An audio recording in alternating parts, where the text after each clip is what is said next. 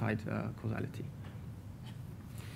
Um, and the final thing is um, we want to measure uh, notion of distance between uh, these systems. And here uh, we simply use distinguishers.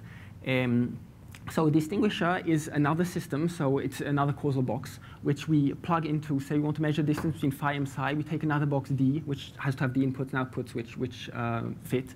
We plug it into phi of psi, and it's going to output just one bit. It's sort of its guess, is this phi or is this psi? Um, and then you can actually define a, a distance like this by um, taking the statistical distance between the output of D when it's plugged into phi of psi, and then taking the supremum over, over all D. And then we get a notion of distance which uh, satisfies all the properties we need. Ah, thank you. That was my last slide.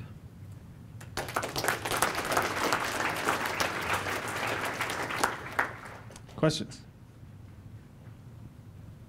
So, so when you connect the boxes uh, with loops in the quantum case, can this be viewed as post-selected teleportation, but then things work out properly from the causality assumption? Um, one way of viewing it is, is tracing out. I never thought of it as post-selection or teleportation. Uh, there I use the, the Choi-Jamiolkowski representation to write it up, but if you use the natural representation, uh, things are sort of permuted in a different way, and it actually corresponds to a trace operation. Well, uh, so when you connect the, with a loop, it seems like a projection onto a maximally entangled state. And when you write out the, the Choi operator, you had those indices matching. Yes, yes, uh, yes, you can probably do that. Um,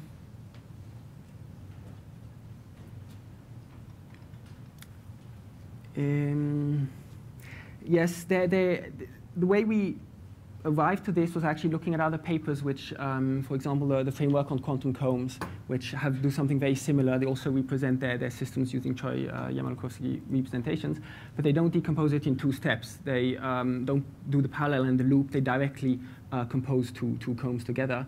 And they have a formula which um,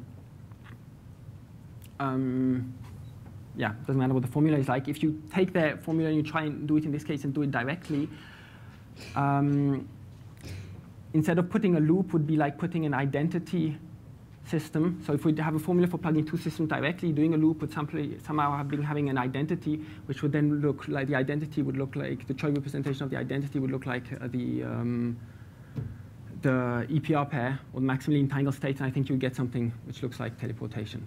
Uh, would be a different way of writing it, but I haven't thought much about that. Question? Yeah, so is this uh, uh, loop condition, I mean, if you can have uh, normalized the operation, is the same as uh, now signaling from B to A? Because I think it's very similar, I think. So, uh, yeah, this one, say you, because you, if you connect A and Y, you can have a normalized uh,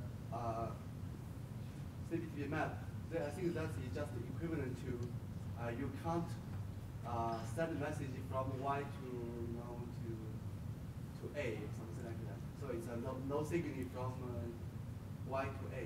No, you you you can have signaling from Y. Uh, okay, you can have signaling from Y to A because.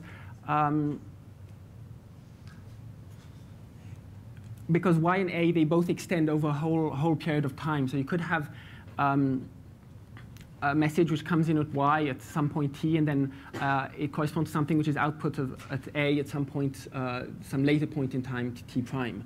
So uh, you couldn't rephrase it, phrase it as no signaling from Y to A, but um, if you sort of took the causality into account, there's no signaling back in time from Y to A. Of course, something which comes in at Y at some point T cannot influence on output A, which is before. So I, I, I, mean, there is no signaling back in time. I don't know if that's the parallel that you see. Um,